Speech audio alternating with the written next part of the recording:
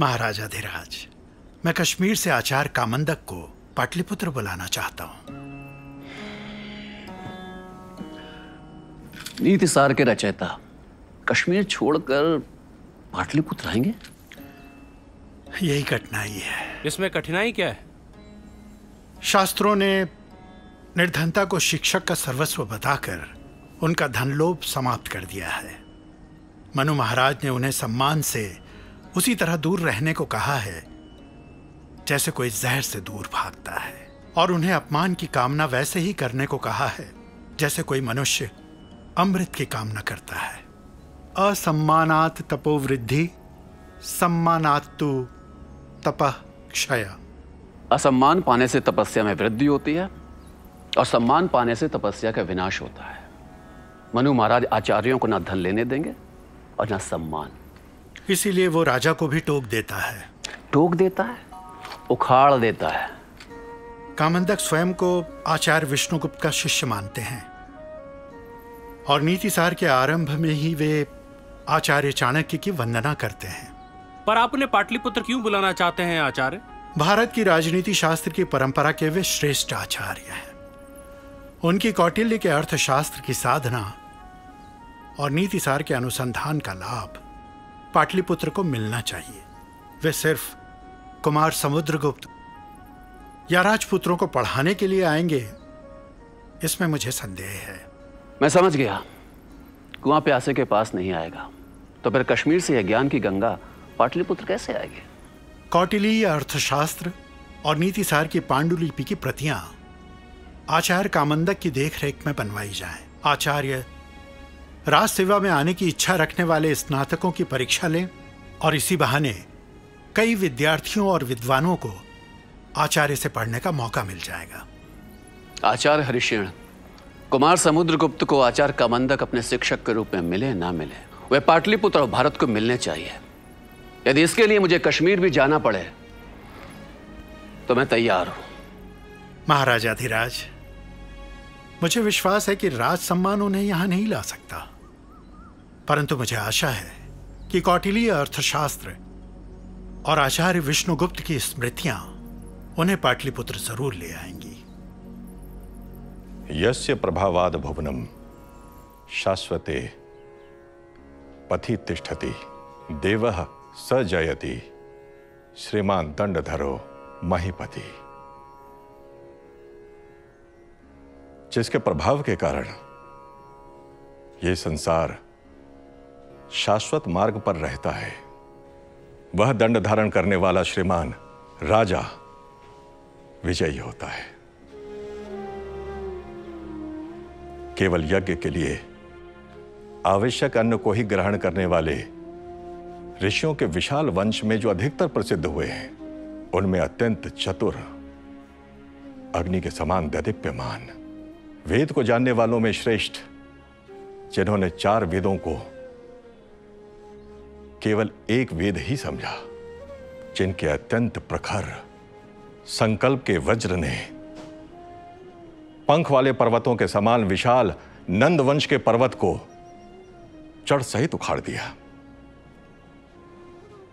ऐसा करते समय जो अकेले थे, उस एकाकी ने शक्ति धारण करने में इंद्र के समान अपनी मंत्र शक्ति से राजाओं के बीच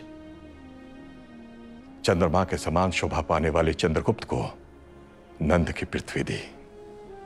अर्थशास्त्र की वैभवशाली परंपरा के समुद्र का मंथन करके जिन्होंने नीति शास्त्र का अमृत निकाला, ऐसे ब्रह्मा विष्णु गुप्त की मैं वंदना करता हूँ। लिखो। नमः। शुक्र बृहस्पतिभ्याम पृथिव्या लाभे पालने। पृथ्वी की प्राप्ति और उसकी रक्षा के लिए पुरातन आचार्यों ने जितने भी अर्थशास्त्र विषयक ग्रंथों का निर्माण किया है उन सब का सार संकलन कर प्रस्तुत अर्थशास्त्र की रचना की गई है। आगे क्या लिखा है पढ़ो। जैसे जीभ पर रखे शहद या जहर का स्वाद चखे बिना नहीं रहा जा सकता। उसी प्रकार अर्थ के लेन देन में नियुक्त अधिकारी अर्थ का थोड़ा सा भी स्वाद ना ले यह असंभव है। आगे। जिस प्रकार पानी में रहने वाली मछलियाँ पानी पीती दिखाई नहीं देती उसी प्रकार अर्थ कार्यों पर नियुक्त कर्मचारी धन का अपहरण करते हुए नहीं दिखाई देते। आगे। आकाश में उड़ रहे पक्षियों की गतिविधि का पता लगाया जा सकता है पर धन के अपहरण करने वाले कर्मचारियों की गतिविधि से पार पाना कठिन। लिखो। राजा जब उन अध्यक्षों का पता लगा ले तो उन धन संपन्न अधिकारियों की सारी संपत्ति छीन ले और उन्हें उच्च पदों से हटाकर निम्न पदों पर नियुक्त कर दे, ताकि भविष्य में वो गबन ना कर सके और अपने गबन को स्वयं उगल दें। ऐसे अधिकारी जो राज्य धन का अपहरण नहीं करते, बल्कि न्यायपूर्वक राजा की समृद्धि और उसे प्रिय समझकर उसके हित के लिए सदा प्रयत्नशील रहते हैं। ऐसे सच्चरित्र अध्यक्षों को सदा सम्मान पूर्वक उच्च पदों पर ही बनाए रखना चाहिए। अध्यक्ष प्रचार नामक द्वितीय अधिकरण में उपयुक्त परीक्षा नामक नवा अध्याय। नवा अध्याय समाप्त। ये पांडुलिपियाँ हैं। इन्हें वापस पुस्तकालय भेज दो शारंग। और दोनों लंबी यात्रा की तैयारी करो। ये मैं क्या सुन रहा हूँ? तुमने अर्थशास्त्र लिखना स्थगित कर दिया है। इस समय भारत को मेरे अर्थशास्त्र की नहीं, किसी और शास्त्र की ज़रूरत है जो इसे एक कर सके। ये कैसा दुर्भाग्य है इस राष्ट्र का कि अलक्षेंद्र के लिए आम भी भारत के द्वार खोल रहा है। वाहिक प्रदेश के गणराज्यों में शक्ति है, स्वाभिमान है, पर एकता नहीं है। आम भी पर्वतेश्वर को नीचा दिखाना चाहते हैं और पर्वतेश्वर आम भी को कुचलना चाहते हैं। भारत में जन है जनपद है, महाजनपद है, गण है, गणराज्य है, राज्य है, साम्राज्य है, पर भारतीय नहीं है। खंड खंड में बटा हुआ भारत किसी भी आक्रांता से लड़ नहीं सकता, गुरुदेव। यहाँ कोई मागध है, मालव है, क्षुद्रक है, कुरु है, पांचाल है, मल्ल है, मत्स्य है, पर भारतीय नहीं है। एक से अनेक हुए भारत को एक होना होगा। हर दिन भारत के सीमा प्रदेशों से लगे हुए राष्ट्रों से निर्वासितों के झुंड के झुंड तक्षशिला में प्रवेश कर रहे हैं, गुरुदेव। और अपने आक्रांताओं की क्रूरता की कहानियाँ साथ ला रहे हैं। यदि भारत ने इस चुनौती का प्रतिकार नहीं किया तो वो हारेगा। कई कई पुष्कलावती, मस्कावती अष्टक प्रदेश, मालव क्षुद्रक, ब्राह्मण शिविराज और गणराज्य नहीं, हारेगा भारत। इसलिए भारत को तुम्हारे अर्थशास्त्र की आज पहले से ज़्यादा ज़रूरत है।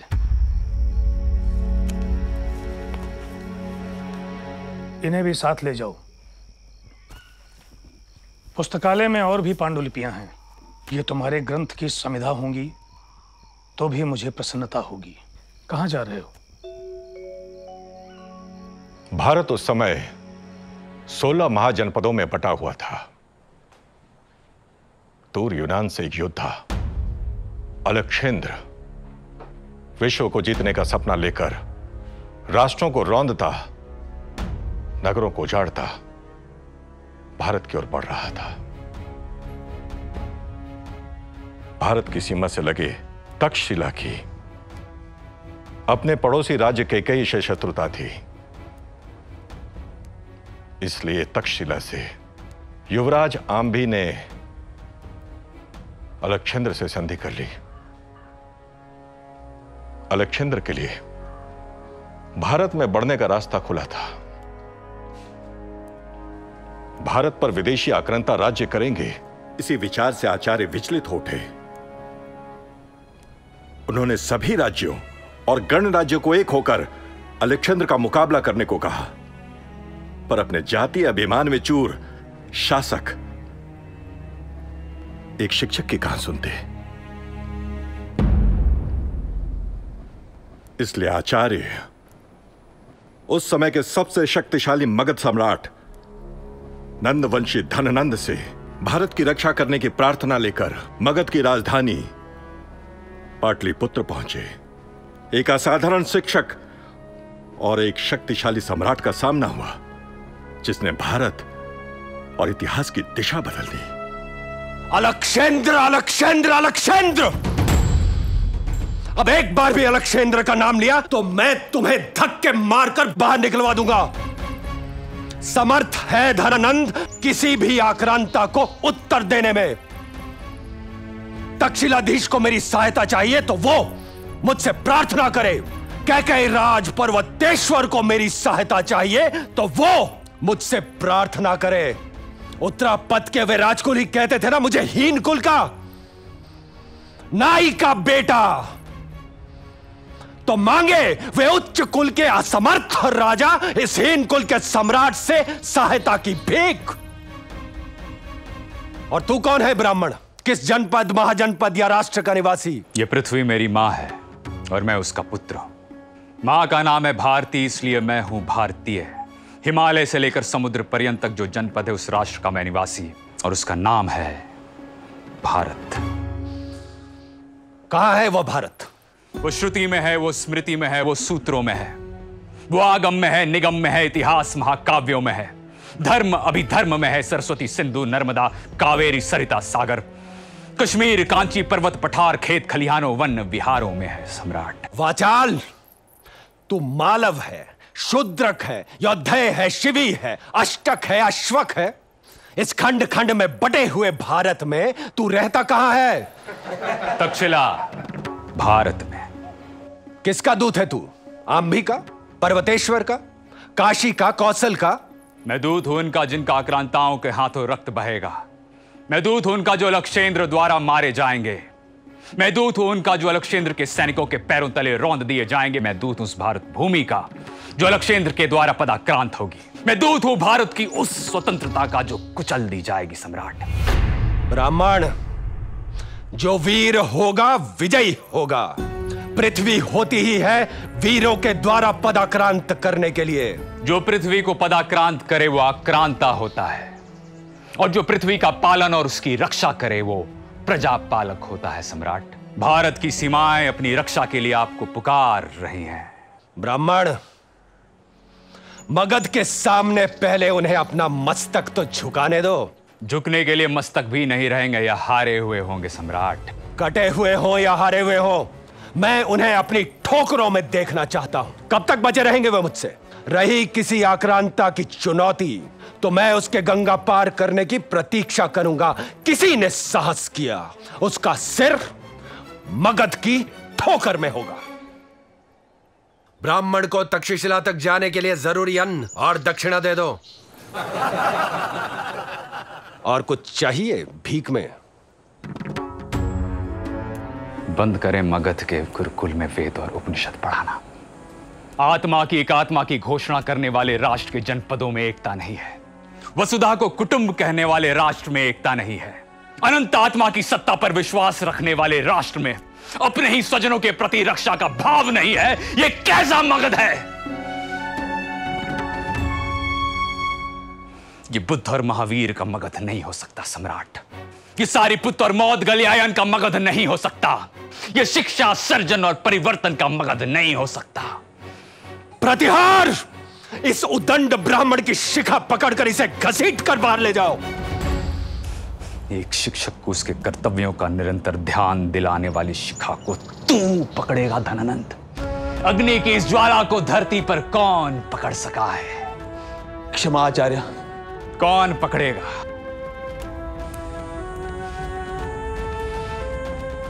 तो तू भी सुन ले आज एक शिक्षक का प्रण भिक्षा के अन्न पर पलने वाला मैं विष्णु गुप्त भारत का एक आचार्य।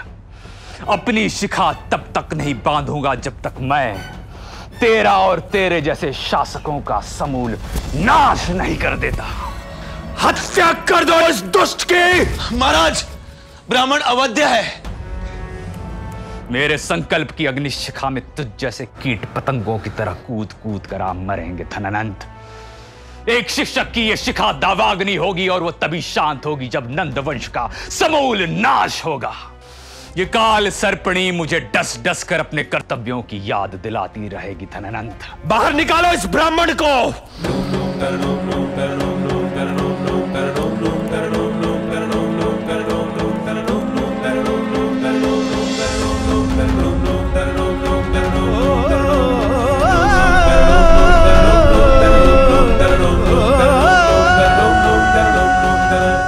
सामने उदंडता करता रहा और मेरे मंत्री अमात्य और सेनापति चुप रहे।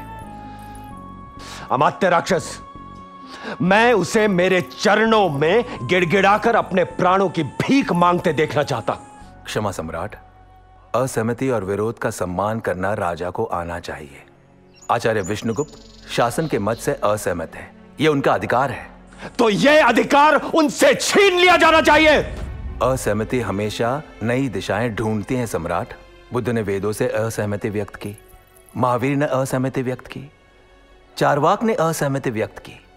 असहमति का सम्मान हमारी परंपरा है। और कड़वा सच बोलने के लिए सच बोलने वाले की हत्या नहीं की जा सकती। कितना ही अप्रिय क्यों ना हो राजा को सच सुनना चाहिए सम्राट। और जिस दिन शिक्षक ने बुद्धिजीवी ने ज्ञान की आराधना करने वालों ने मृत्यु के डर से सच बोलना बंद कर दिया, वो दिन शास्त्रों की पराजय का दिन होगा। इसलिए शिक्षक को गिड़गिड़ाने के लिए, भीख मांगने के लिए मत कहिए। उसे तो सिंह गर्जना करने के लिए कहिए। तभी तो हमारा भविष्य सुरक्षित है। क्या मेरे वंश का समूल नाश करने की प्रतिज्ञा करने वाला पाटलिपुत्र से जीवित जाना चाहिए अमात्य मुझे प्रसन्नता होती जो मेरे किसी मंत्री ने उसका सिर धड़ से उतार दिया होता। विप्र शस्त्र उठाकर युद्ध नहीं करता सम्राट। उसका हथियार तो क्रोध है। क्रुद्धो ब्राह्मणों हंति राष्ट्रम। कुपित ब्राह्मण संपूर्ण राष्ट्र का विनाश कर देता है।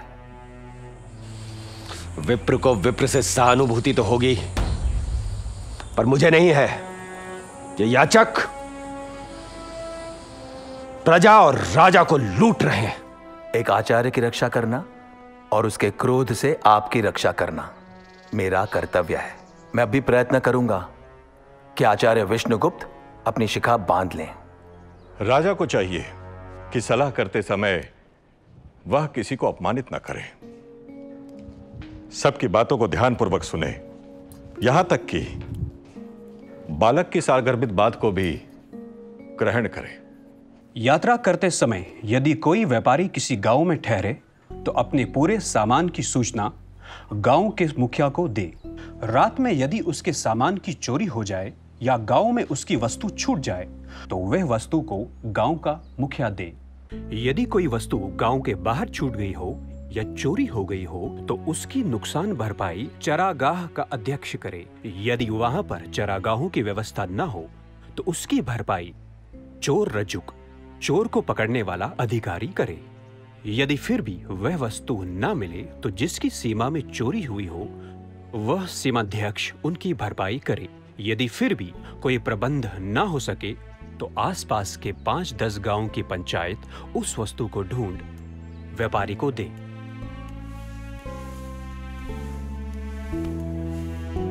आचार्य जो हुआ उसके लिए क्षमा चाहता हूँ आचार्य और एक शिक्षक के संकल्प को जगाने के लिए मैं पाटलिपुत्र का धन्यवाद देना चाहता हूँ। विष्णुगुप्त मैं और अमात्य चाहते हैं कि आप पाटलिपुत्र में ही रहें। आप मुझे बंदी बना रहे हैं। आपको बंदी बनाने की भूल मैं नहीं कर सकता। तो क्या चाहते हैं आप? आचार्य मैं चाहता हूँ आप आचार्य बृहस्पति के ग्रंथ को ठीक करने में मेरी मदद करें। ज़रूर करूँगा पर पहले लोगों को ठीक कर लो। इस समय इस देश की मांग है सुरक्षा एकता और सुशासन।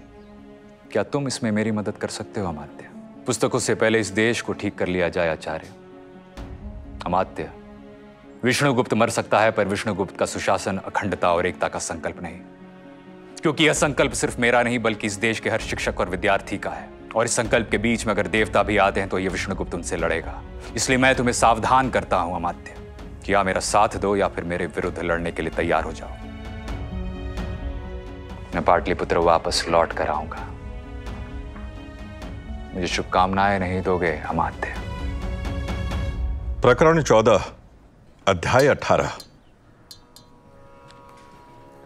राज, प्रणिधि, यानी राजा के कार्य व्यापार। इस प्रकरण में राजा को दिन से लेकर रात तक क्या क्या करना चाहिए, उसका विस्तार से वर्णन है। राजा यदि जागा हुआ रहता है तो उसका सारा अधिकारी वर्ग भी जागा हुआ रहता है। राजा यदि मद या नशे में रहता है तो उसका सारा अधिकारी वर्ग भी मद में रहता है। ऐसे मद के नशे में धुत अधिकारी वर्ग चुपचाप सारे राज्य कार्यों को पी जाता है। ऐसा राजा धोखा खाता है। इसलिए राजा अपने को सदा ही उन्नतिशील बनाए रखे। राज्य कार्य को ठीक ढंग से चलाने के लिए वह दिन और रात को आठ आठ घड़ियों में बांटे। पुरुष की छाया से भी वह समय का विभाजन कर सकता है।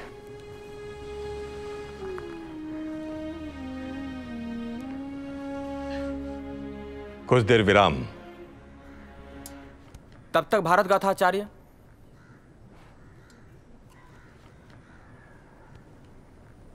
अलक्षेंद्र से देश हार गया। कभी छल से, कभी निर्दयता से। उसने भारत के वीरों का संहार किया। किंतु अपने सैनिकों के विद्रोह और भारत में पग पग पर भीषण युद्ध और मगध के भय ने भारत को जीतने का उसका सपना चूर चूर कर दिया। उसने भारत से लौटने का फैसला कर लिया था। हारा हुआ भारत घोर निराशा में था। भारत कंधक पर बैठा एक चिंगारी की प्रतीक्षा कर रहा था। और विष्णुगुप्त, भारत को एक करने की आग घरों और गुरुकुलों में पहुँचा रहे थे। उस महान शिक्षक का एक ही लक्ष्य था, विघटन का विस्फोट नहीं, एकता का महायज्ञ। जब एक महान गुरु तैयार होता है तो उस महानता को ढूंढते ढूंढते एक शिष्य गुरु के पास पहुँच ही जाता है। आचार्य विष्णुगुप्त को ढूंढते हुए चंद्रगुप्त आचार्य के पास पहुँचा। मैं मगध से भागा हुआ भाड़े पर लड़ने वाला योद्धा।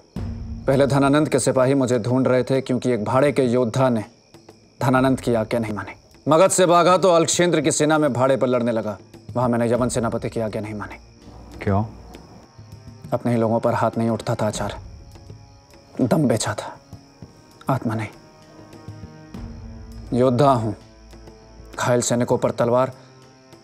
तलवार कैसे चला था? मैंने घायल सैनिकों को मार रहे यवन सैनिकों को मार गिराया पर पकड़ा गया। मुझे और मेरे साथी योद्धाओं को अल्कशेंद्र के सामने प्रस्तुत किया गया। मुझे अल्कशेंद्र से क्षमा मांगने के लिए कहा गया, परंतु मैंने वहाँ भी अल्कशेंद्र की अवहेलना की और मौत के हाथ से फिसल कर भाग खड़ा हुआ। भाग रहा हूँ। पहुँचना पाटलिपुत्र है, पर कैसे पहुंचूं पता नहीं। यहाँ जाता हूँ, अवज्ञा करता हूँ। और किसी न किसी के सिपाही मेरा पीछा करते हैं। यवन सिपाही अल्कशेंद्र की आज्ञा से आम भी और पर्वतेश्वर के सिपाही मुझे रात दिन ढूंढ रहे हैं।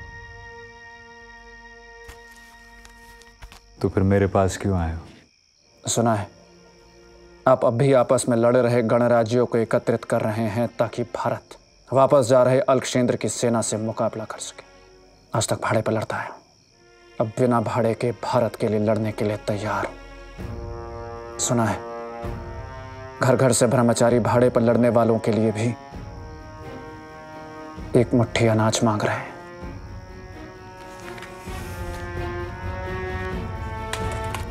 महान चुनौतियों को जब महान व्यक्ति ललकारते हैं तब इतिहास करवट लेता है। स्वतंत्रता एकता सुरक्षा और सुराज इसलिए स्वतंत्रता के स्वर को हर उन घरों में ले जाओ जिन्होंने अपने स्वजनों को युद्ध में खो दिया है।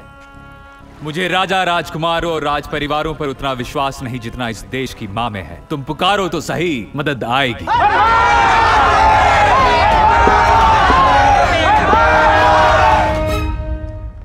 अलक्षेंद्र से हारे हुए गणराज्यों में निराशा थी। हज़ारों लोगों ने अपनी स्वतंत्रता की रक्षा के लिए अपने स्वजनों को खोया था। आचार्य विष्णुगुप्त और गुरुकुलों ने विदेशी दास्ता के जुए को अपनी गर्दन से उतार फेंकने का देश आह्वान किया। स्वराज्य की ऐसी आंधी उठी कि उसने यवनों को उखाड़ फेंका।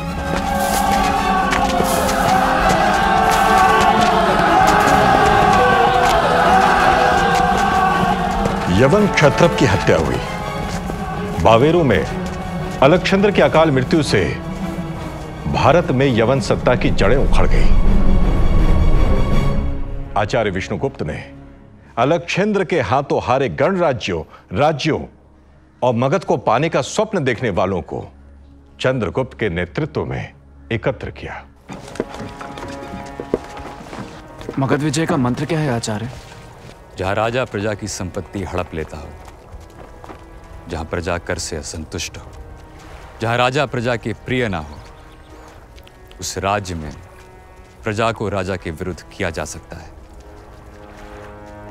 धनानंद ने मगध के कोष से 80 करोड़ के मूल्य का धन कहीं गायब कर रखा है। उसने चमड़े, गोंद, पेड़ों और पत्थरों पर भी कर लगा रखा है।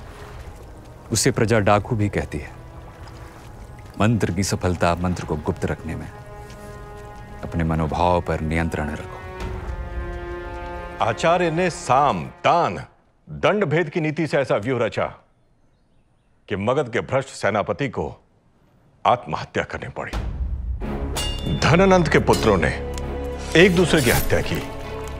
सेना में विद्रोह हुआ और चंद्रगुप्त ने मगध पर विजय प्राप्त की।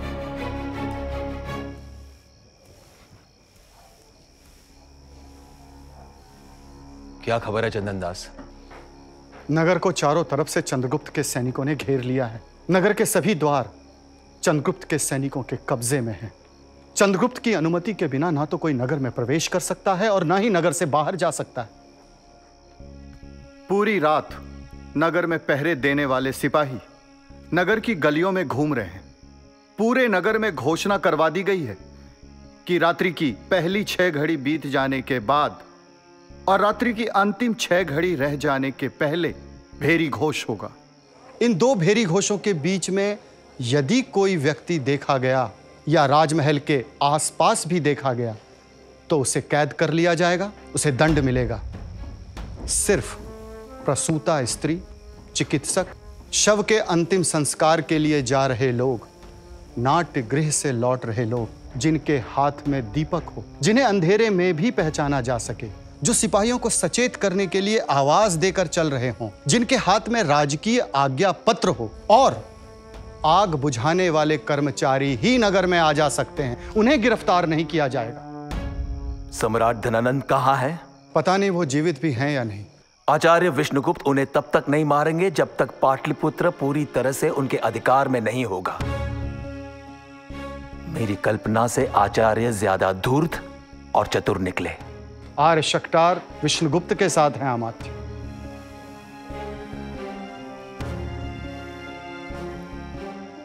अब हर नंद विरोधी उनका साथ देगा।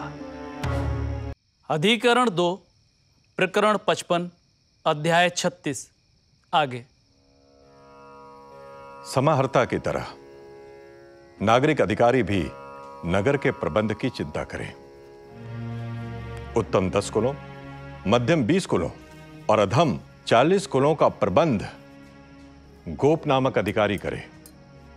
उन कुलों के स्त्री पुरुषों के वर्ण, गोत्र, नाम, कार्य, उनकी संख्या और उनकी आमदनी और खर्च को अच्छी तरह जाने। इसी तरह दुर्ग में रहने वाले स्त्री पुरुषों के बारे में सारी जानकारियाँ स्थानिक नाम का अधिकारी जाने। धर्मशाला का प्रबंधक धूर्त और पाखंडी मुसाफिरों को गोप की अनुमति से ही धर्मशाला में रहने दे। पर जिन तपस्वियों और श्रोत्रियों को वो स्वयं जानता है उन्हें अपनी ज़िम्मेदारी पर टिका सकता है। आचार्य। मोटा और महीन काम करने वाले विश्वास पात्र और पहचान के कारीगरों को अपने काम करने की जगह पर ठहराया जा सकता है। व्यापारी अपने जान पहचान के व्यापारियों को अपने दुकानों पर ठहरा सकते हैं पर देश काल के विपरीत व्यापार करने वाले या दूसरे के सामान को अपने व्यवहार में लाने वाले की सूचना नागरिक शासन को दे। आचार्य। शराब और मांस बेचने वाले भोजनालय और वेश्याएँ अपने अपने जान पहचान वालों को अपने घर पर ठहरा सकते हैं। यदि कोई व्यक्ति अधिक खर्च करता दिखे या अधिक शराब पीता दिखे तो उसकी सूचना गोप या स्थानिक को दी जानी चाहिए। जो व्यक्ति हथियार से लगे घाव का छिपकर इलाज करवाता हो, या फिर रोग और महामारी फैलाने वाले द्रव्यों का लुक छिपकर उपयोग करता हो, यदि ऐसे लोगों की सूचना चिकित्सक, गोप या स्थानिक को ना दे तो उसे भी अपराधी की तरह दंड दिया जाए। और यदि सूचना दे तो उसे दंड नहीं देना चाहिए। जिस घर में ऐसा काम किया जाता है या ऐसा काम किया गया हो उस घर का मालिक यदि गोप या स्थानिक को इस बात की सूचना देता है तो उसे क्षमा कर देना चाहिए। और यदि सूचना ना दे तो उसे भी अपराधी की तरह दंड देना चाहिए। घर का मालिक, घर में आने वाले हर आदमी अतिथि या घर से बाहर जाने वाले हर आदमी अतिथि की सूचना गोप को दे। वरना ये लोग यदि रात में किसी की चोरी करें तो इसका जिम्मेदार घर के मालिक को समझा जाए। यदि वे लोग अपराध ना भी करें तो भी अतिथि के आने की सूचना ना देने के अपराध में घर के मालिक को प्रति रात तीन पण का दंड दिया जाए। जो गर्मी के मौसम में अपने घर के सामने पानी से भरे खड़े, पानी से भरी नाद, सीढ़ी, कुल्हाड़ा, सूप, छाछ, कौचा, फूस आदि को निकालने के लिए लंबा लठ, चमड़े की मशक आदि का इंतज़ाम न करे। उसे पण का चौथाई दंड दिया जाए। गलियों तथा बाजारों में पानी से भरे एक हज़ार घड़ों का प्रबंध हर समय होना चाहिए। चौराहों नगर के मुख्य द्वार खजानों कोष्ठागारों घोड़ों और हाथियों के अस्तबल में भी पानी से भरे हज़ार हज़ार घड़ों का हर समय इंतज़ाम होना चाहिए। मकान में आग लगाने वाला यदि पकड़ा जाए तो उसे प्राण दंड दिया जाए। सड़क पर मिट्टी कूड़ा कचरा डालने वाले व्यक्ति को एक पण का आठवां हिस्सा दंड दिया जाए। कितना? एक पण का आठवां हिस्सा। यदि कोई गाड़ी कीचड़ या पानी से सड़क पर रुकावट खड़ी करे तो उसे एक पण का चौथा हिस्सा दंड दिया जाए। यदि कोई राजमार्ग को इसी तरह गंदा करे या रास्ते पर कोई रुकावट खड़ी करे तो उसे दुगना दंड दिया जाए। राजमार्ग पर मल त्याग करने वाले को एक पण। पवित्र तीर्थ स्थानों पर मल त्याग करने वाले को दो पण। तालाबों पर मल त्याग करने वाले को तीन पण। देवालय में मल त्याग करने वाले को चार पण। खजाना और कोष्ठागारों में मल त्याग करने वाले को पाँच पण का दंड दिया जाए। यदि कोई इन स्थानों पर पेशाब करे तो उसे इसका आधा दंड दिया जाए। यदि जुलाब लगने के कारण या अतिसार या प्रमेय आदि बीमारी या किसी के भय से कोई ऐसा करे तो उसे दंड ना दिया जाए।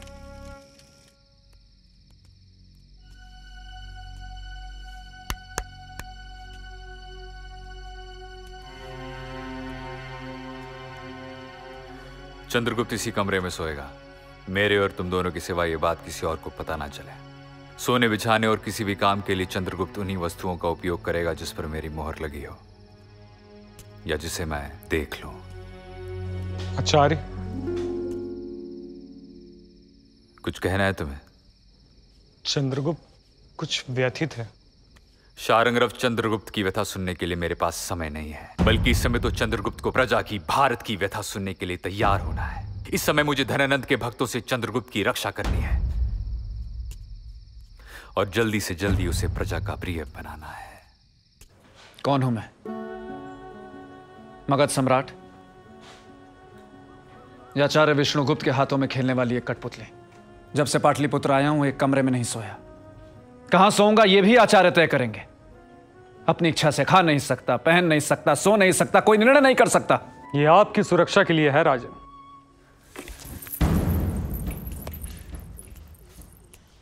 सुरक्षा। ये मेरी सुरक्षा है या मैं यहाँ बंदी से भी बदतर हूँ। ये कैसा राज्य है जहाँ राजा निर्णय लेने के लिए स्वतंत्र नहीं है? आज तक मैं प्रजा के सामने सभा में प्रस्तुत नहीं किया गया। प्रजा ने अपने राजा को देखा तक नहीं। मेरा मंत्री कौन, पुरोहित कौन, सेनापति कौन दोवारिक कौन, अंतर्वांशिक कौन, समाहर्ता कौन सनिधाता कौन प्रवेशता कौन, मैं नहीं जानता। क्यों नहीं कर रहे आचार्य पाटलिपुत्र के सिंहासन पर मेरा अभिषेक? सारे प्रश्नों का उत्तर केवल एक व्यक्ति के पास है। आचार्य विष्णुगुप्त। शरणग्रह में आचार्य से मिलना चाहता हूँ। आचार्य जहाँ भी हैं मुझे इसी समय आचार्य के पास ले चलो। आचार्य की अनुमति और आज्ञा के बिना मैं आपको आचार्य के पास भी नहीं ले आ सकता राजन। शरणग्रह आचार्य के साथ रहते रहते तुम लोग कितने निष्ठुर हो गए पत्थर हो गए। सम्राट, मैं सिर्फ़ उस आचार्य विष्णुगुप्त को जानता हूँ जो आज भी स्वाध्याय किए बिना, मुझे और निपुणक को पढ़ाए बिना सोते नहीं, जो आज भी उस अन्न के दाने पर जीते हैं जो मैं और निपुणक भिक्षा में मांग के लाते हैं। वे आज भी वही वस्त्र पहनते हैं जो किसी ने उन्हें दान में दिए होते हैं। पानी आज भी वो चुल्लू में लेकर पीते हैं। कल के लिए जिसके पास अनाज का एक दाना नहीं, जिसका हर कार्य, हर कदम बस एक ही दिशा की ओर जाता है, वो है भारत, जिसकी हर आहुति सिर्फ़ राष्ट्र के लिए। आचार्य के लिए कोई और संदेश हो तो कहिएगा राजन राजा के स्वार्थ की बात। राजा से तत्काल ही कह देनी चाहिए। अपने स्वार्थ की बात। राजा के प्रिय और हित चाहने वाले व्यक्तियों से करनी चाहिए। और दूसरे के स्वार्थ की बात। उचित समय और स्थान देख कर करनी चाहिए। और जो कुछ भी कहे वो धर्म और अर्थ से संबंधित होनी चाहिए। याद है तुम्हें। अब आगे सुनो। राजा के पूछने पर उसकी अनुमति से उसे प्रिय और उसके हित की बात कह देनी चाहिए। प्रिय हो तो भी उसके अहित की बात राजा को नहीं कहनी चाहिए। पर राजा के हित की बात अप्रिय हो तो भी उसे कहनी चाहिए। उत्तर देते समय, यदि अप्रिय बात सुनाने में डर लग रहा हो तो चुप हो जाना चाहिए। तुम दोनों को जाने की मैंने आज्ञा नहीं दी।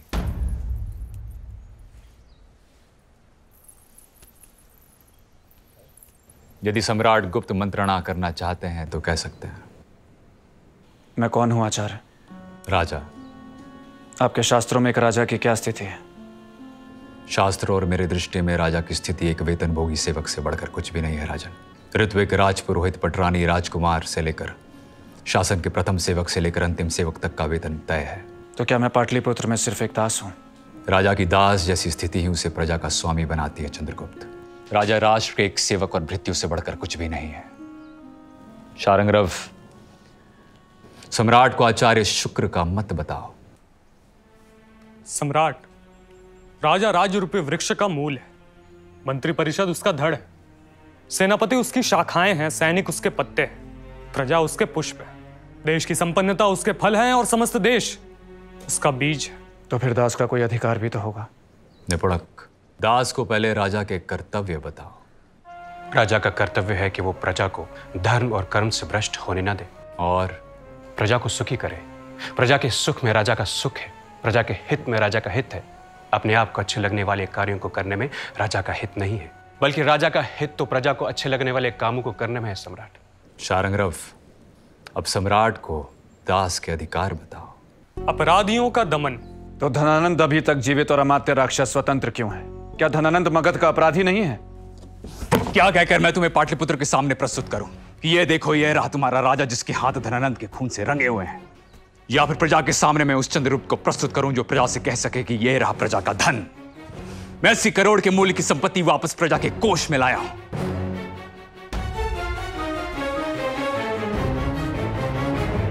धनानंद के प्रजा के अप्रिय होने के बावजूद आज तक पाटलिपुत्र अजय रहा है। हारा नहीं, गिरा नहीं। मगध में जन विद्रोह नहीं हुआ। उसका एकमात्र कारण है अमात्य राक्षस। अमात्य पाटलिपुत्र की व्यवस्था है। मगध साम्राज्य पर उसकी पकड़ है। हमने पाटलिपुत्र पर अधिकार किया है। प्रजा को जीता नहीं। इसलिए जब तक अमात्य हारता नहीं हम पाटलिपुत्र जीते नहीं कहला सकते। मैं अमात्य को पाटलिपुत्र से भागते हुए देखना चाहता हूँ। पाटलिपुत्र से अमात्य का भागना ही उसकी पराजय होगी चंद्रगुप्त। तो आप अमात्य को भागने क्यों नहीं देते? अमात्य के भागने और धनानंद की मुक्ति का भी समय मैं तय करूँगा। तो आप जानते हैं कि अमात्य कहाँ है? तुम्हारी आँखों से ही तो देख रहा हूँ मैं। मेरी आँखें? यानी? शारंगरफ। आपके गुप्तचर। पिछले तीन साल से तुमने प्रकट युद्ध किया है और मैंने कपट युद्ध। अमात्य और मैं इस समय कपट युद्ध कर रहे हैं।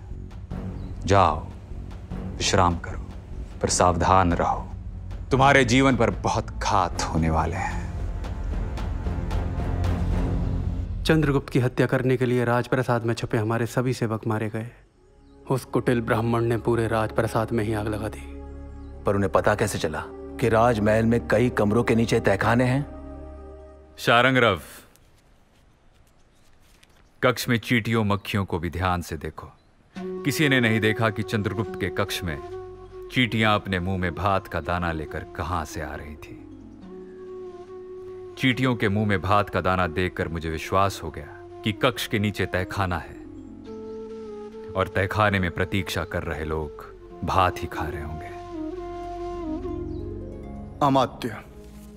आचार्य विष्णुगुप्त ने पुराने गुप्तचर वैश्याओं कारीगरों और बूढ़े सैनिकों को पूरे नगर में नज़र रखने के लिए लगा दिया है। पूरा गुरुकुल उनके साथ है। और यह चंद्रगुप्त मौर्य सेनापति और मूरादासी का पुत्र है। यह विष्णुगुप्त आचार्य चणक का पुत्र और यदि यह चंद्रगुप्त दासी पुत्र है तो पाटलिपुत्र गंधक के ढेर पर बैठा है। क्या आचार्य जानते हैं कि चंद्रगुप्त दासी पुत्र है? जो मैंने सुना है वह उन्होंने ना सुना हो। ऐसा कैसे हो सकता है अमात्य? हर राजकीय अधिकारी के पीछे आचार्य का कोई न कोई व्यक्ति छाया की तरह चल रहा है। और हर राजकीय कार्यालय के बाहर चंद्रगुप्त के सैनिक बैठे हुए हैं। समझ गया। पूरी तैयारी के साथ आया है तक्षशिला का ये आचार्य। एक और बुरी खबर है अमात्य। आचार्य ज्ञान सत्र शुरू करने जा रहे हैं। यानी पाटलिपुत्र के स्नातकों एवं विद्वानों का सम्मान होगा। और ऐसे में चंद्रगुप्त उन्हीं में से कोई नए अमात्य एवं नए अधिकारी चुनेंगे। यानी अब हर कार्यालय में चंद्रगुप्त के समर्थक होंगे। पर आचार्य ने पुराने अधिकारियों को हटाया क्यों नहीं? जो चंद्रगुप्त के अनुकूल नहीं होगा वो नहीं रहेगा। जब तक आचार्य चंद्रगुप्त को पाटलिपुत्र में स्थिर नहीं करते तब तक वो अनुकूल को उत्साह और पुरस्कार देंगे और प्रतिकूल को आशा और निराशा सुरक्षा और असुरक्षा के बीच झूलने देंगे। तो अब क्या करें अमात्य मैं जीते जी आचार्य विष्णुगुप्त को सफल होने नहीं दूँगा। पाटलिपुत्र के किसी भी योग्य व्यक्ति को सिंहासन पर बिठाऊँगा पर चंद्रगुप्त को स्थिर होने नहीं दूँगा। चंद्रगुप्त के सहायक राजाओं में भेद। अब यही उपाय है। बस एक बार महाराज धनानंद से संपर्क हो जाए। क्या आपको अब भी विश्वास है कि महाराज जीवित हैं? चंदन दास जब तक महाराज उनके पास हैं उनके पास सुरक्षा कवच है और हम विवश हैं। और वो महाराज को तभी मारेंगे जब उनकी मृत्यु से चंद्रगुप्त स्थिर हो। आचार्य विष्णुगुप्त जो कर रहे हैं वो मत देखो। वो जो नहीं कर रहे हैं उसे समझने की कोशिश करो।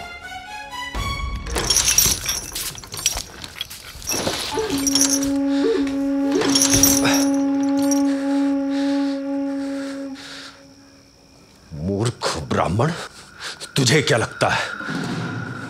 मुझे मारकर चंद्रगुप्त पाटलिपुत्र के सिंहासन पर स्थिर हो जाएगा? सुशासन आ जाएगा? धनानंद मेरा विश्वास प्रजा में है। वो प्रजा जो राष्ट्र की पुनीत थाती राजा को सुशासन के लिए सौंपती है। इसलिए उसे राजा को हटाने का भी अधिकार है। तुझे चंद्रगुप्त में विश्वास ना हो, पर मुझे है। मुझे विश्वास है उस व्यवस्था में जहाँ राजा राज रूपी रथ का एक पहिया है। और दूसरा पहिया उसके मंत्री, अमात्य और अधिकारी हैं।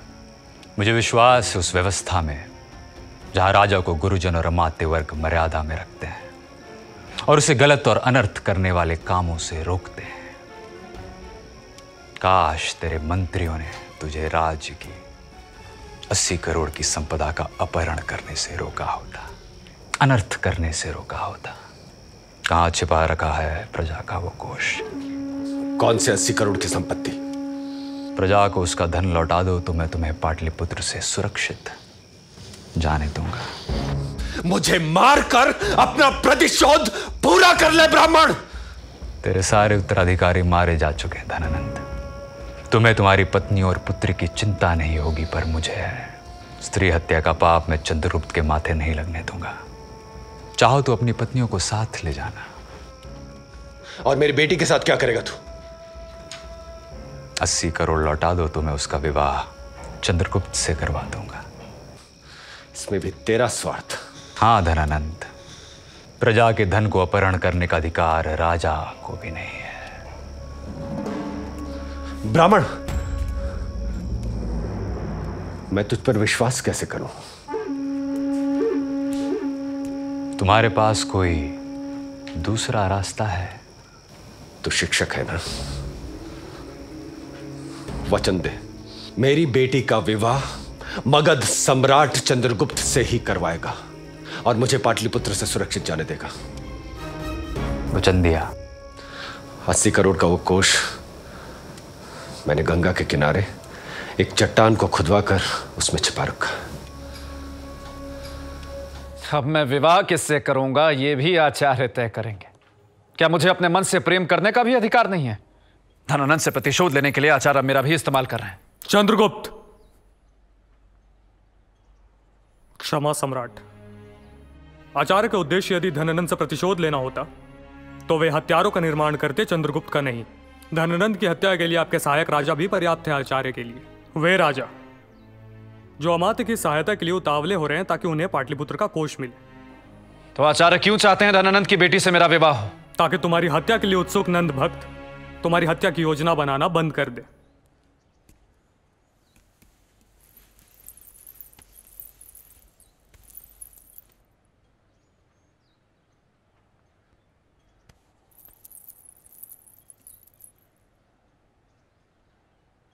मैंने तुम्हें पाटलिपुत्र का साम्राज्य सुखों के उपभोग के लिए नहीं दिया है। मैंने तुम्हें पाटलिपुत्र का साम्राज्य इसलिए दिया है ताकि खंड खंड में बटे हुए भारत को तुम एक कर सको, ताकि तुम भारत को सुशासन दे सको। याद रख, राजा का सुख प्रजा के सुख में है। तेरे सुख के लिए मैं तेरे जीवन को दाव पर नहीं लगाऊँगा। यदि अपने सुख की कामना सताए तो सबसे पहले उन विधवाओं के विलाप को याद करना, जिनके पति स्वतंत्रता के युद्ध में मारे गए। उन शिशुओं को याद करना, जिन्होंने अपने पिता को स्वतंत्रता के युद्ध में खो दिया। उन बूढ़े माँ बाप को याद करना, जिनके बुढ़ापे की लाठी भारत की सीमाओं पर खो गई। उन नन्ही नन्ही बच्चियों को याद करना, जिनके लिए पिता अब सिर्फ़ उनका राजा है। फिर भी तुम अपना निर्णय लेने के लिए स्वतंत्र हो, चंद्रगुप्त। शारंगरव सम्राट को धनानंद द्वारा अपहरण किए गए धन की सूचना दी या नहीं? मैं देने ही वाला दे दो। पर सम्राट प्रजा का धन मिल गया है। कल आप पहली बार पाटलिपुत्र की सभा में जाएँगे और पाटलिपुत्र को इसकी सूचना देंगे।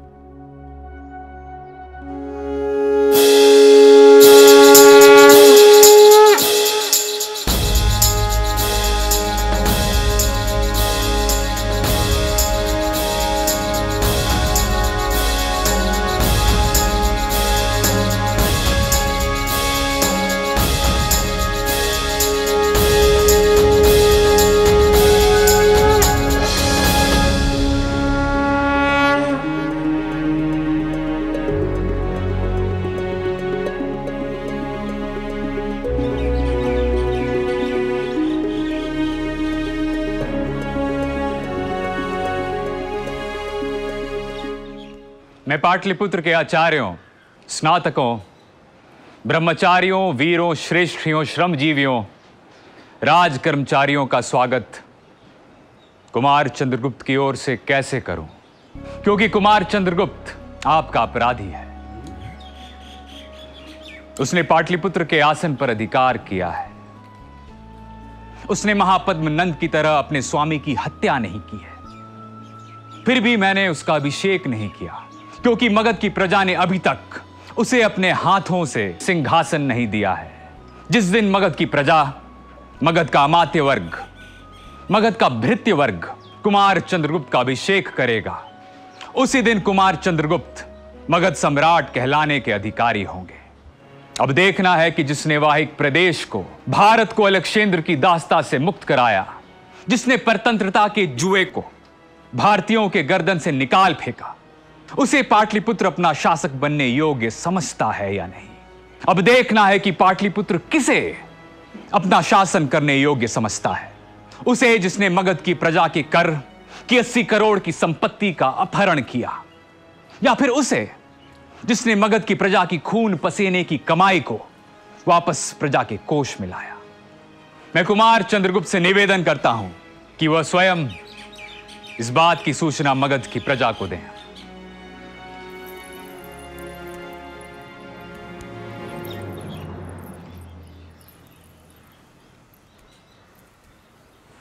भारत महाराज धनानंद ने 80 करोड़ की संपत्ति गंगा के तट पर एक चट्टान को खुदवा कर उसमें गाड़ रखी थी। प्रजा की वह संपत्ति वापस राजकोष में पहुँचा दी गई। कुमार चंद्रगुप्त की महाराज चंद्रगुप्त की महाराज धनानंद द्वारा पत्थर पेड़ और गोंद पर लगाए गए कर को मैं वापस लेता हूँ। योग योग। कुमार चंद्रगुप्त की महाराज चंद्रगुप्त की पाटलिपुत्र को हर्ष दे। ऐसी और एक घोषणा मैं करने जा रहा हूँ। कुमार चंद्रगुप्त महाराज विवाह कर रहे हैं। धनानंद की पुत्री से सम्राट सभी को आसन पगड़ी छतरी और आभूषण देकर सम्मान करेंगे। महाराज चंद्रगुप्त की महाराज चंद्रगुप्त की महाराज चंद्रगुप्त की महाराज चंद्रगुप्त की जो मैं नहीं कर पाया वो आचार्य ने कर दिखाया। अब क्या अमात्य? मेरा निश्चय अटल है। चंद्रगुप्त का अभिषेक नहीं होगा। महाराज की बेटी का हित मगध के हित से बड़ा नहीं है चंदन दास पर अब मैं नगर में रहकर विष्णुगुप्त से नहीं लड़ सकता। मेरे भागने का समय आ गया है।